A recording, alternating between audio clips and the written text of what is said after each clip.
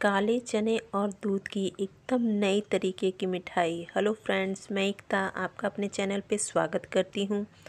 आज मैं बहुत ही टेस्टी, बहुत ही लाजवाब काले चने और दूध की दो रेसिपी लेके आई हूँ और बहुत ही स्वादिष्ट और बहुत ही टेस्टी बनेगी। तो पहली जो है रेसिपी वो बर्फ़ी है और दूसरा हलवा है। तो ये इतनी शानदार बर्फ़ी होती है तो आपने कई तरह की मिठाई खाई होगी, लेकिन आप एक बार इस तरह से काले चने की ज़रूर मिठाई खाइए बहुत ही टेस्टी और बहुत ही स्वादिष्ट और बहुत ही आसानी से सबसे इजी तरीके से आप इसे बना सकते हैं। तो ये देखिए, ये बर्फ़ी जो है, कोई नहीं कहेगा कि ये चने की बर्फ़ी है। तो इस होली आप इसे ज़रूर ट्राई करिए। तो फ्रेंड्स अगर आपको मेरी वीडियो अच्छी लगेगी तो आप ज़रूर कमेंट करके बताइएगा कि आप कहाँ से कमेंट कर रहे हैं। तो मैंने ये काले चने की ये जो स्वीट रेसिपी है, वो दो रेसिपी बता रही हूँ। कि पहली जो है चने का हलवा बनाऊँगी और दूसरा ये बर्फ़ी। तो बस देर नहीं करते हैं, चलिए बनाते हैं। तो इसके लिए देखिए, मैंने चना लिया है एक बाउल और इसे हम चार से पाँच घंटा भिगो दिया था और थोड़ा सा दो मिनट के लिए बॉईल कर लिया है और अब इसे हम इसका पेस्ट बनाएँगे। तो देखिए, मैंने मिक्सर के जार में डाल दिया है। और इसका पेस्ट बनाने तो जैसे हल्का सा बॉयल करने से इस मिठाई का जो टेस्ट है, बहुत ही अच्छा आता है। तो ये देखिए, इस पेस्ट को मैं एक प्लेट में निकाल लूँगी। तो एकदम नई तरीके की मिठाई है तो आप इस बार होली में ज़रूर ये ट्राई करिएगा। और काफ़ी हेल्दी होती है। तो बस देखिए, इस पेस्ट को मैंने निकाल लिया है। और अब आगे चलते हैं। यहाँ पर देखिए, मैंने गैस पे कढ़ाई रख दी है और यहाँ पर हम घी डालेंगे। तो देखिए दो चम्मच मैंने घी डाल दिया है और अब हम ये जो पेस्ट है इसे डाल के बहुत अच्छे से भुनेंगे। गैस का फ्लेम लो रखेंगे। लो फ्लेम में हम बहुत ही अच्छे से इस पेस्ट को भुनेंगे। तो देखिए हम इसको लो फ्लेम में भुनेंगे और ये देखिए इस तरह से हम चलाते हुए लो फ्लेम में भुनेंगे। बहुत ही स्वादिष्ट, ये एकदम नए तरीके की मिठाई होगी। तो आपने चने का बहुत सारी रेसिपी खाई होगी, लेकिन एक बार इस तरह से चने की स्वादिष्ट मिठाई बनाइए। और इसके आगे मावा की मिठाई भी फेल हो जाती है। तो ये देखिए, दो से तीन मिनट में ऐसे नीचे लगने लगेगा। तो यहाँ पर आप जान रहे हैं कि गैस का फ्लेम लो करके हमें इसको बहुत ही अच्छे से भुनना है। और प्रॉपर आपको चलाते रहना है, कहीं आपको रुकना नहीं है। ये चीज़ों का ध्यान रखना है नहीं तो नीचे से लग जाएगा। और ये देखिए, इस तरह से हम बहुत ही अच्छे से भुनेंगे। अब धीरे धीरे देखिए, चार मिनट हो चुके हैं और इसका कलर देखिए आपको दिख रहा होगा, ये चेंज हो चुका है। तो अब हम यहाँ पर घी डालेंगे। तो ये देखिए, मैं इसमें एक से दो चम्मच घी डालूँगी। तो इस तरह से घी डाल के हम और भुनेंगे। एकदम नए तरीके की ये मिठाई है। तो आप इसे किसी भी त्यौहार में ज़रूर ट्राई करिएगा। तो ये देखिए, इसको हम एकदम अच्छे से भुनेंगे ताकि जो इसका जो अच्छा टेक्सचर आने लगे। तो बहुत ही अच्छी सी अब देखिए इस तरह से महक आने लगी है। अब ये देखिए धीरे धीरे आपको दिख रहा होगा कि बहुत ही अच्छी सी सोनी सोनी महक आने लगे। तब आप समझिए कि ये परफेक्ट भुन गया है। तो इतना भुनने के बाद तो अब इसमें हम फिर से दूध डालेंगे। तो ये देखिए नीचे ना लगे इसलिए हम प्रॉपर चलाते रहेंगे।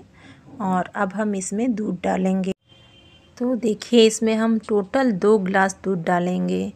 यानी कि एक लीटर मैंने पूरा टोटल दूध डाला है। तो ये देखिए, एक गिलास दूध मैंने डाल दिया है और ये दूसरे गिलास।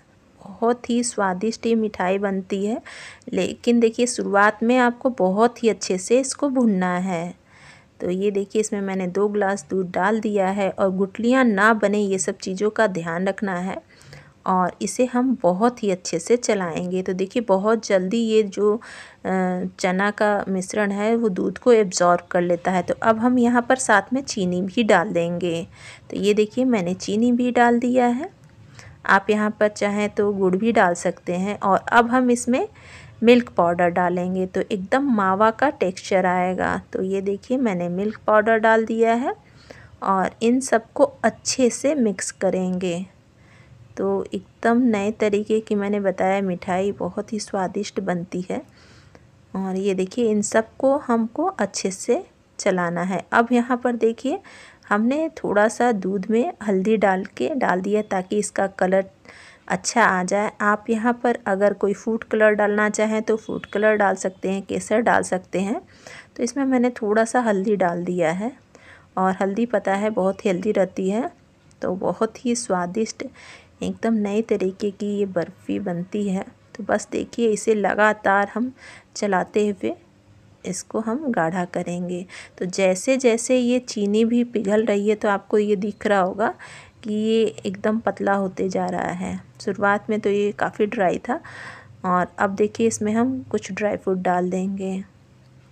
तो आपने, मैंने बताया कि चने की कई रेसिपी खाई है, लेकिन एक बार आप इस तरह से होली पे ये नए तरीके की बर्फ़ी बनाइए बहुत ही स्वादिष्ट और बहुत ही टेस्टी बनती है।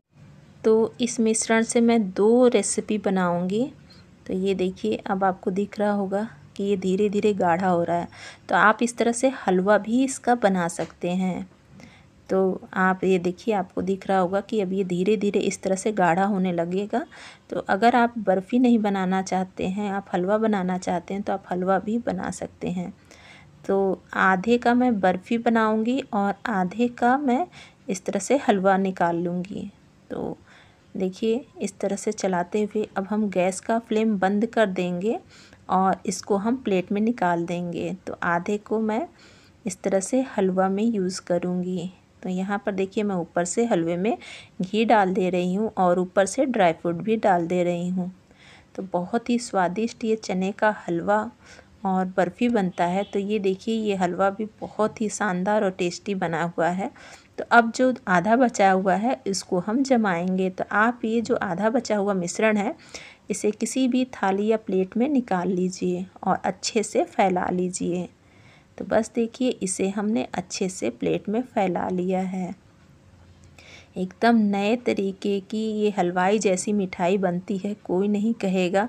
कि ये मार्केट की नहीं बनी है। बहुत ही स्वादिष्ट और बहुत ही टेस्टी ये हलवा और ये बर्फ़ी बनता है। तो ऊपर से भी खूब सारा आप ड्राई फ्रूट डाल दीजिए ये देखिए। इसे भी डाल के एक घंटे के लिए रूम टेम्परेचर पर छोड़ देंगे। बहुत ही शानदार ये बर्फ़ी देखिए जमी है।